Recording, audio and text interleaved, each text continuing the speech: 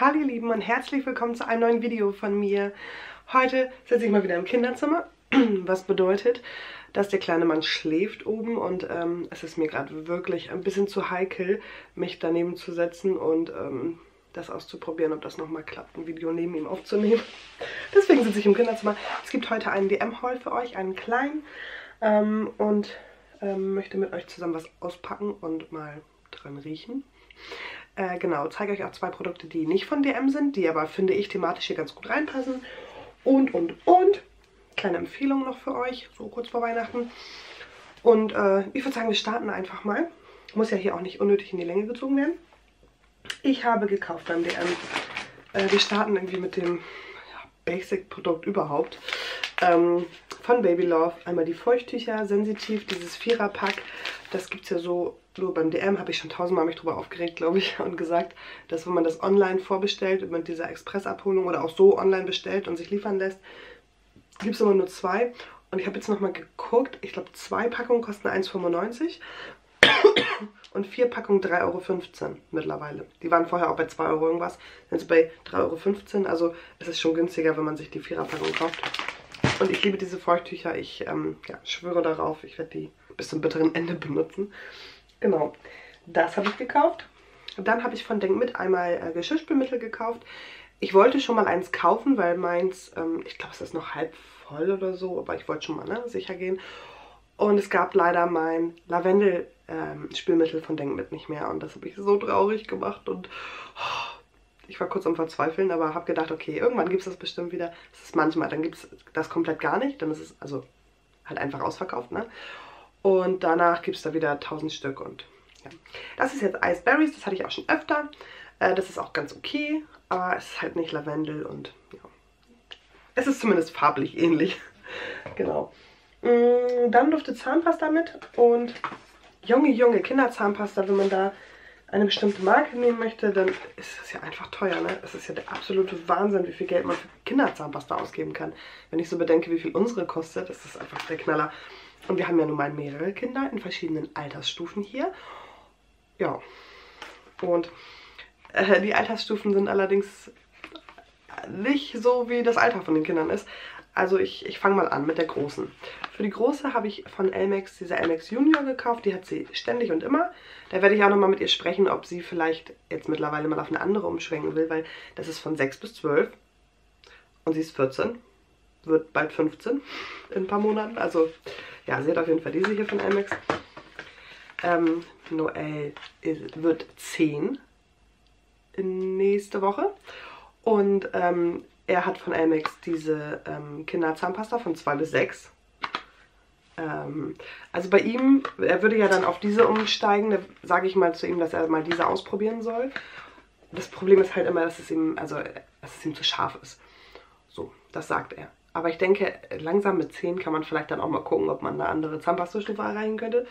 Wie gesagt, von 2 bis 6 ähm, im März darf der Kleine die benutzen. Von daher würde ich sagen, der Große muss mal nachrutschen. Also die habe ich auf jeden Fall für ihn geholt.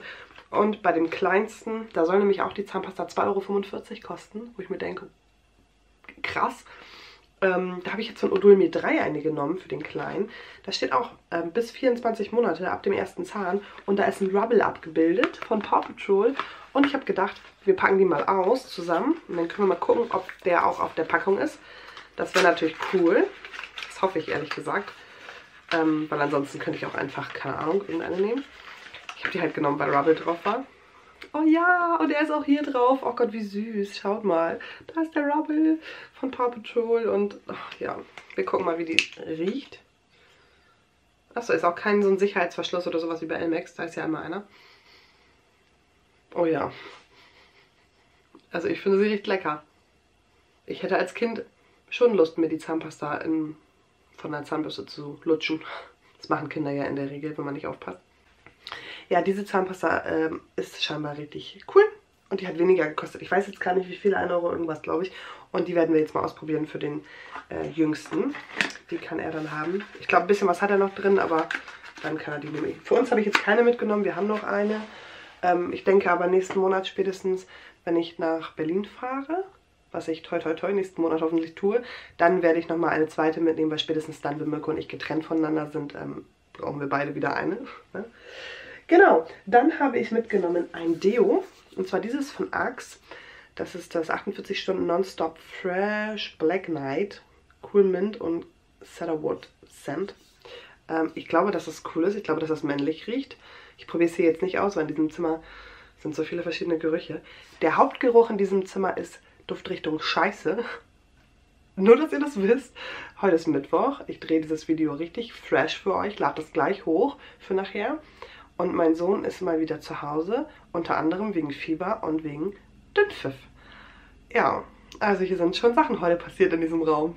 Äh, deswegen, äh, ja, hier ist ein interessanter Geruch, der irgendwie in der Luft liegt. Vielleicht ist er auch in meiner Nase und ich werde ihn einfach nur nicht mehr los, weil ich habe natürlich hier sauber gemacht, habe natürlich gelüftet, habe hier auch mit so einem Spray gesprüht, aber ja. Naja, wir kommen wieder zurück zu diesem Produkt hier von Axe. Das habe ich für Noel gekauft, das bekommt Noel zu Weihnachten, so ähm, als zusätzliche Kleinigkeit zum Auspacken. Ähm, er kriegt auch was Größeres, aber äh, er braucht da halt noch so ein paar Kleinigkeiten. Und da er jetzt ja bald 10 ist, habe ich gedacht, dann kann er auch ein Deo haben, dann fühlt er sich noch ein bisschen männlicher und ja, fand ich irgendwie eine süße Sache. Genau. Dann zeige ich euch mal eben die beiden Produkte, die nicht vom DM sind, die ich aber, finde ich, thematisch hier ganz gut einsortieren kann. Das sind diese beiden Produkte von Glisskur. Die habe ich von meiner Mama bekommen im Adventskalender. Einmal Ultimate Repair Hair Spa. Dreimal flüssiges Keratin angereichert mit botanischem Puder. Für eine glättere Haarstruktur und intensive Pflege zum Ausspülen sehr geschädigtes und trockenes Haar. Einmal dieses und da ich nicht so viele Haare habe, glaube ich, dass das äh, mehrmals reichen wird. Richtig cool. Also da eine dicke Portion drin, ist gut gefüllt. Und dann habe ich das Ganze nochmal in Pink. Verführerisch lang, Hairspa, Biotin-Komplex und Bio mit botanischem Puder. Intensive Pflege zum Ausspülen für langes geschädigtes Haar und Spliss. Genau. Hatte ich mir mehr oder weniger gewünscht. Ich habe im Regal so drauf gezeigt, auch Mensch, also falls du für einen Adventskalender noch was brauchst, würde ich das nehmen. Weil würde ich mir selber nicht gönnen. Hat, glaube ich, 1 Euro irgendwas oder 2 Euro irgendwas gekostet. Und da da ich noch einige Produkte habe, hab, würde ich mir das selber nicht kaufen. Aber wenn das jetzt gut ist, dann schon. Also, ja. Genau. Dann habe ich beim DM, also ich hätte es aber nicht beim DM gekauft, sondern beim, beim Jawoll. Ich weiß nicht, ob es das beim DM oder beim Rossmann aktuell noch gibt, weil bei Jawoll sind ja manchmal auch Sachen, ähm, gerade auch so Drogerie-Sachen, die es in der normalen Drogerie aktuell nicht mehr gibt. Genau, dann habe ich eine Weihnachtskugel gekauft, so eine kleine, hier ist ein Schneemann drauf, hier drin sind auch Schneemänner und so ein kleiner leicht rosaner Weihnachtsmann. Die habe ich gekauft für mein Wichtelgeschenk, was ich verschenken muss. Da hat sich jemand eine Schneekugel gewünscht. Unter anderem.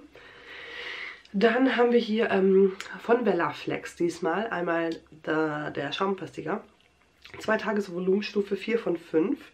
Und ich bin sehr, sehr gespannt auf den Geruch und auch auf die Qualität, auf die ähm, Langlebigkeit oder ne, das, die Haltbarkeit so. Ähm, ja, bin ich sehr gespannt. Und ob das nach einer Weile auch verklebt. Mein alter Schaumfestiger war ja leider so verklebt hier oben, dass ich das einfach nicht mehr da rausbekommen habe, was super schade ist, weil ich den natürlich auch gerne mochte. Ich habe sonst immer den von Taft.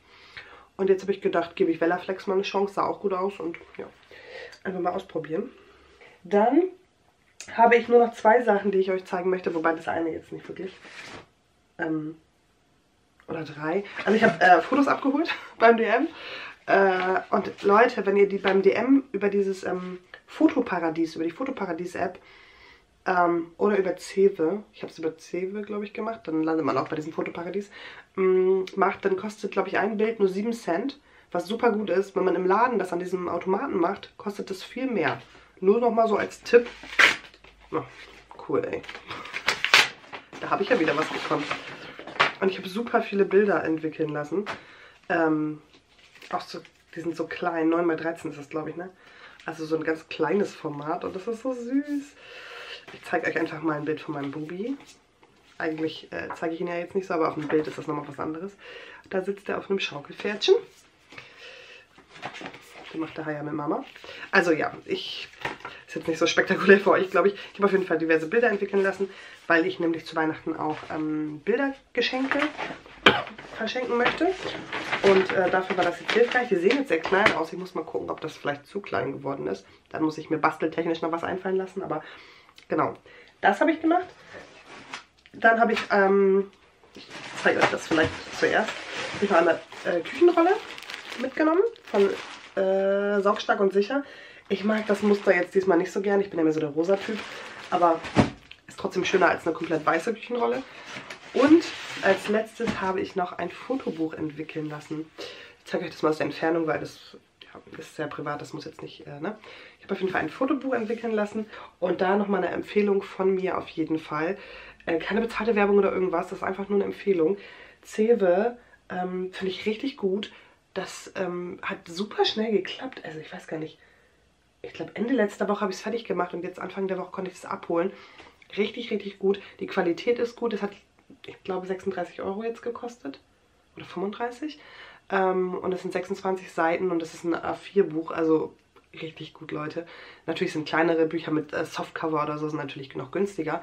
Aber ich finde auch für diesen Kurs, wenn man überlegt, was man da drin festhält und dass man das ewig hat, für jemanden, der, der sowas gerne hat und sich sowas gerne immer mal wieder anguckt, finde ich das richtig schön. Man kann alles personalisieren oder man nimmt sich Vorlagen und muss kaum was machen und packt nur die Bilder rein. Also es ist richtig, richtig toll. Ähm, und ich glaube, wenn ihr jetzt noch bestellt, ich glaube noch so ein, zwei, drei Tage oder so. Ich weiß es gerade nicht genau, ich will nicht schwören. Dann kommt es auch vor Weihnachten auf jeden Fall noch an. Also ähm, ja, schaut auf jeden Fall mal vorbei. Finde ich auf jeden Fall eine sehr, sehr, sehr coole Seite oder App. Man muss so eine Software runterladen. Und ähm, ja, ich glaube, man kann das sogar aber auch auf dem Handy, wenn man sich da auf dem Handy was runterlädt. Finde ich persönlich jetzt total ungeil, wenn das so klein ist, aber ähm, kann man glaube ich auch. Genau. Das war meine DM-Ausbeute. Wie gesagt, jetzt nicht super viel, aber ich dachte, ich zeige euch das mal. Jetzt wird mein Baby wach. Ähm, ich beende dieses Video. Ich wünsche euch noch einen wunderschönen Tag. Macht's gut und bis zum nächsten Mal. Tschüss.